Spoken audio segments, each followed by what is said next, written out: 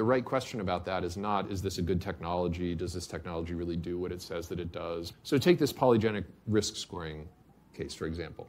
Okay, you know, to me, this is a little bit of a, just to be totally blunt about it, a little bit of a sideshow technology for, for precisely these reasons. I mean, it just kind of doesn't, it can't do very much, except what it can do is invite you to relate to your future children in a particular way, where your first act, your first relational act with your future child is to select it, right?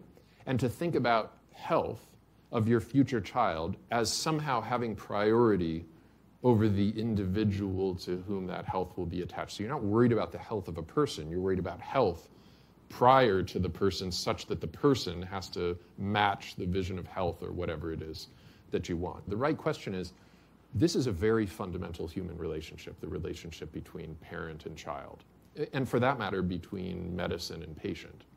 And we are enacting it in a particular way in this technological context.